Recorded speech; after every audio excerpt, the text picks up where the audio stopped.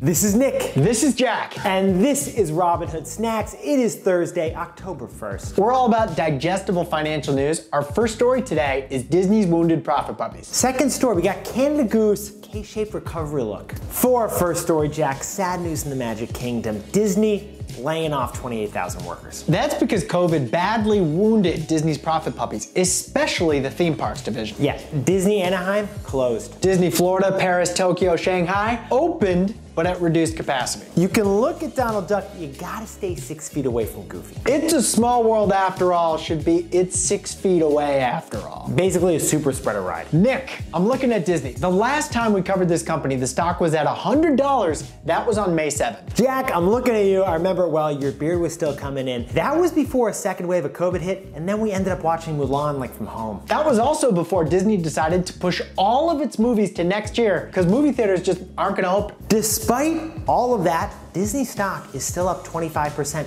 since May 7th. Something does not fit here. So Jack, what's the takeaway for our buddies over at Disney? It's the Fed. It's been the Fed all along. The Fed is saving stock prices. Snackers, the Federal Reserve, the nation's central bank, they've promised to keep interest rates super low for like at least the next three years. And that makes bonds less attractive to invest in. The result is a huge migration of money away from bonds into stocks. And that is boosting stock prices overall. The S&P 500, which is the top 500 stocks, that's up 11% in the last quarter. So it's not a Disney thing, it's a Fed thing. It's been the Fed all along. The Fed. For our second story, Jack, you know Canada Goose from selling the $1,000 parkas, stock just surged 8%. Nick, when you're wearing a Canada Goose, you look like you just got off a schooner that's coming from Iceland. Honestly, unofficial official jacket of the Upper East Side. And every quad at every university campus. So Jack and I noticed that over the last three months, Canada Goose's stock is up 40%, not totally clear why. We think it has something to do with outdoor dining. Last Friday, Nick, the city of New York announced eating on the streets and outdoor cafes, that's not just a COVID summer thing. It's gonna be permanent. Jack, I was just in the city a few weeks ago. Did this on A Street. You're literally just sitting outside. They cover the whole street.